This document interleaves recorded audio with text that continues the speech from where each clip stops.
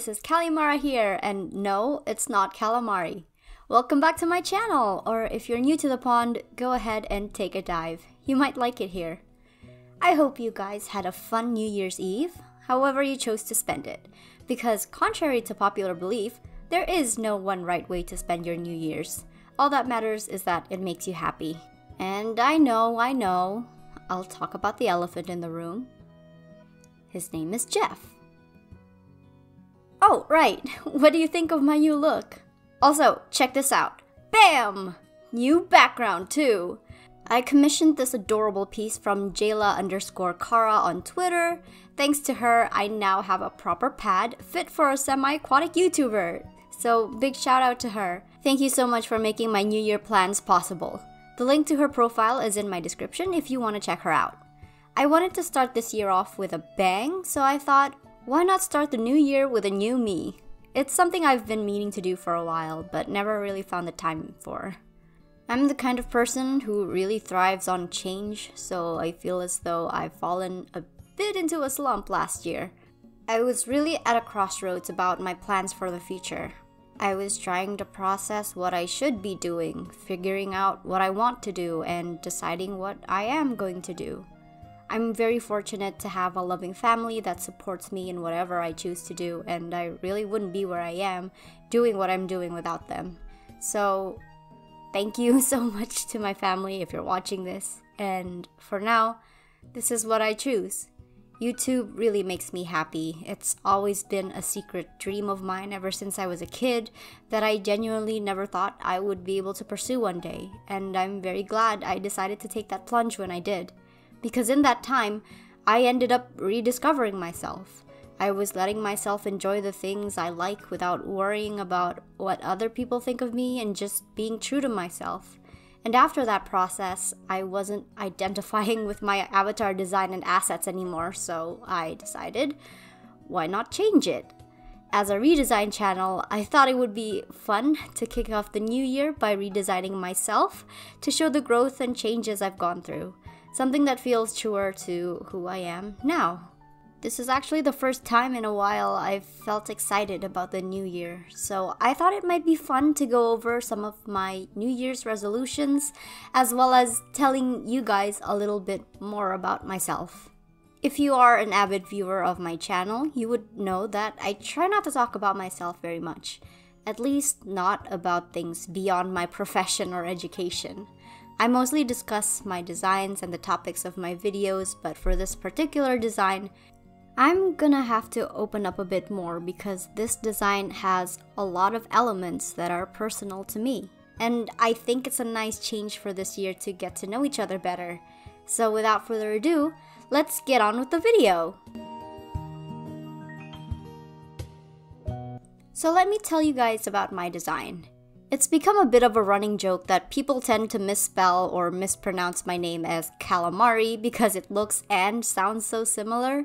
The inspiration for my name is that it's actually a combination of my first and middle name. I'm not gonna tell you what it is just yet, but it is a funny coincidence that it ended up sounding so similar to calamari. Because of that, I decided to lean into the water theme with my intro, welcoming you to the pond, and then creating an open species, but not really because you need to be subscribed to me to make one, that is semi aquatic.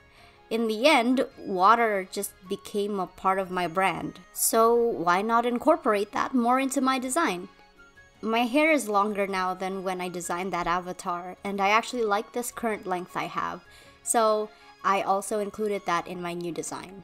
Plus, I have fringes now, and I'm really happy with them, so that was also very satisfying to include.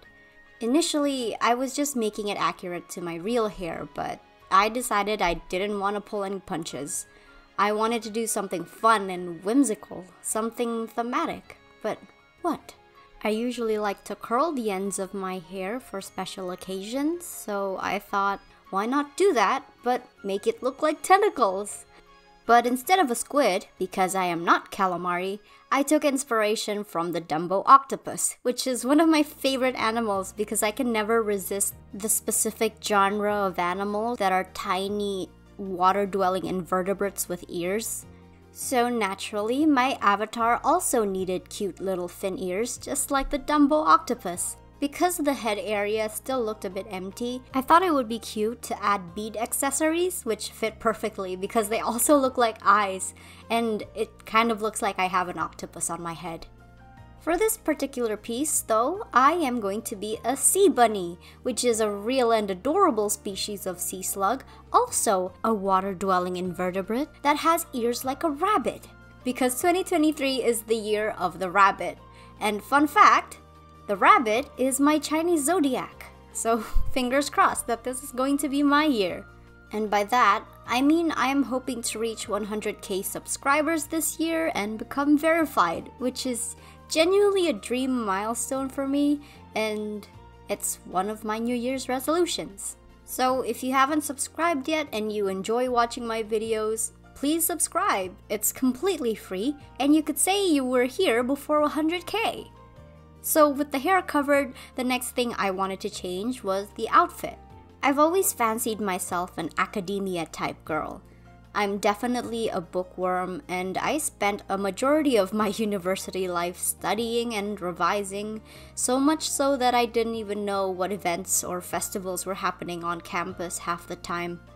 Most of the time genuinely felt like I was on a completely separate island from the rest of the university population. I also like the kind of clothes you would see being worn by a Ghibli character. Maybe because I secretly want to live in a Ghibli movie. So I wanted to do something flowy and comfy and kind of nerdy, I wanted puffy, flowy sleeves because they're super comfortable, and dress shirts are abundant in my wardrobe because I think I look nice and tidy in them, and they make me feel confident. So I decided to combine the two. One of my favorite accent pieces are vests because they keep me nice and warm without the extra bulk that a coat or jacket would add.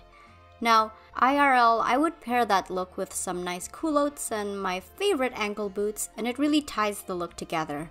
Though I incorporated the ankle boots, I wanted something more whimsical and playful for the bottoms. Initially, I went for a long, flowy skirt, but it didn't look quite right to me.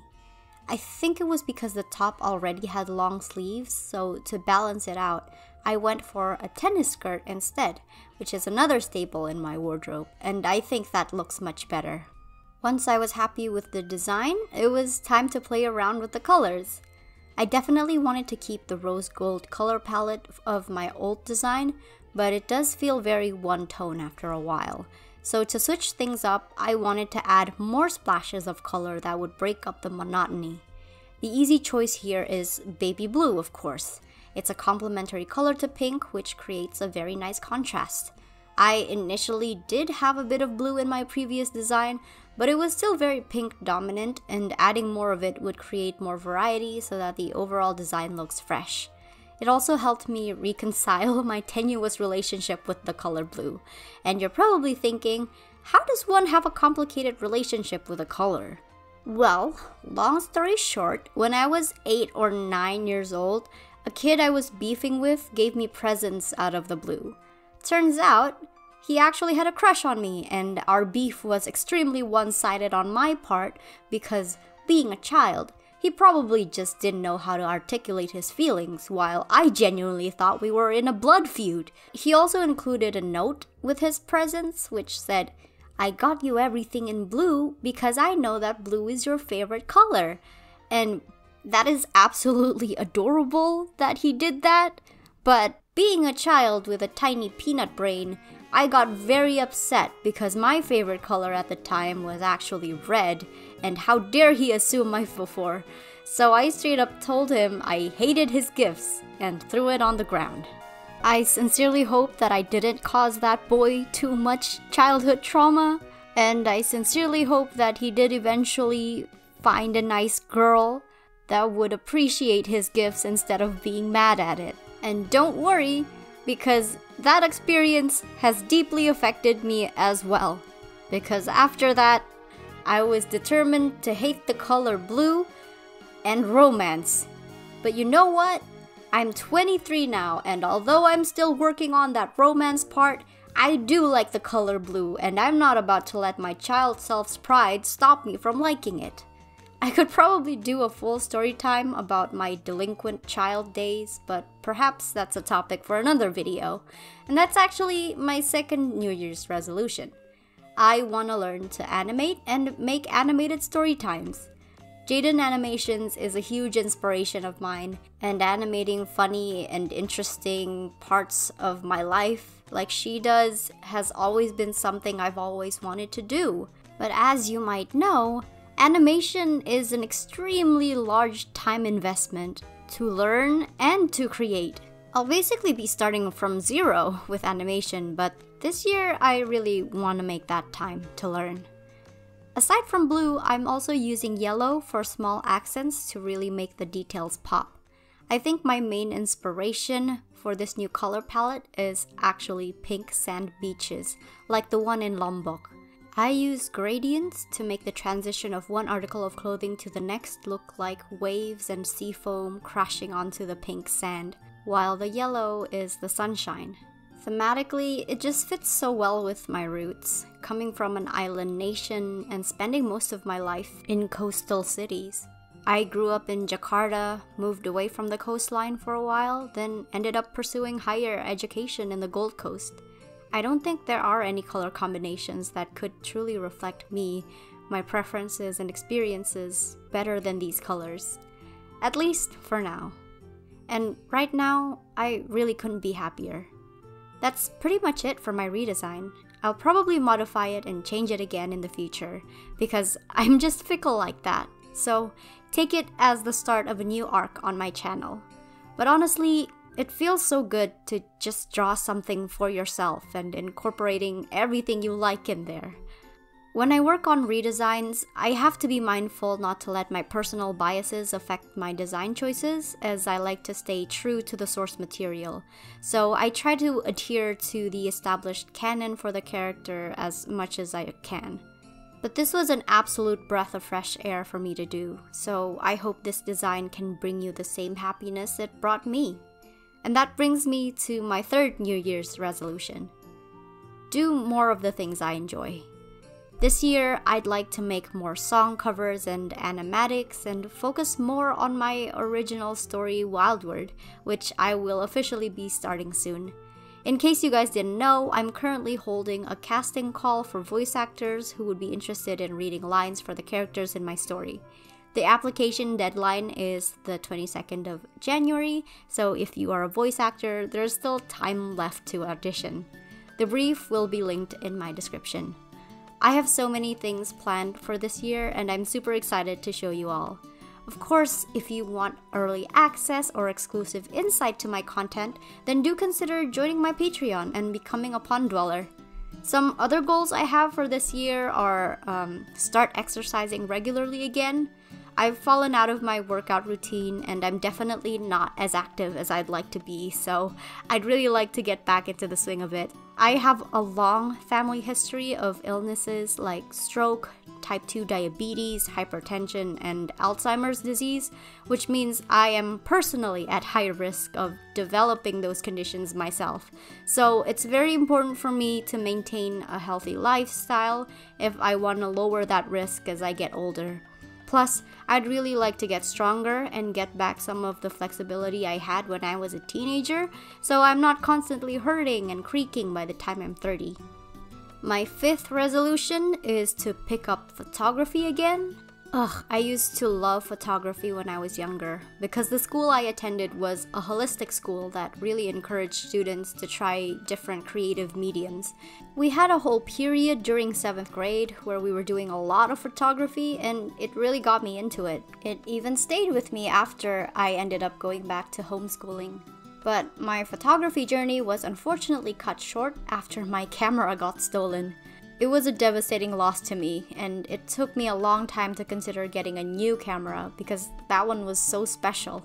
It was my first camera ever, and I'd taken it on all my family vacations and school projects. But recently, I bought myself a second-hand camera and realized, boy, am I out of practice. So that's something I want to relearn again. My sixth resolution is to write a song just one song will suffice. I used to write songs with my classmates at that school all the time, but I've never really written one by myself. And I actually do know how to play the guitar, so I thought it might be fun to try.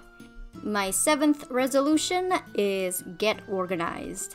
The end of last year was rough. After I got sick, it basically threw all my plans and organization out the window, and it was so difficult for me to get back into it. So this year, I'd really like to get back to where I was before and be more efficient with my time so I'm not wasting hours just scrolling on Twitter or Pinterest or TikTok. But I don't want to get too ambitious, so those are all my goals for this year. Do you think 2023 will be better than 2022? What are you looking forward to the most this year? And most importantly, what do you think of my new avatar design and background? Let me know in the comments below. Thank you for hanging out with me in the pond for a while. I hope your skin didn't get too pruny. Big shout out to my lovely pond dwellers for supporting me on Patreon. I really want to do the best for you guys, and I hope we'll be able to face this new year together.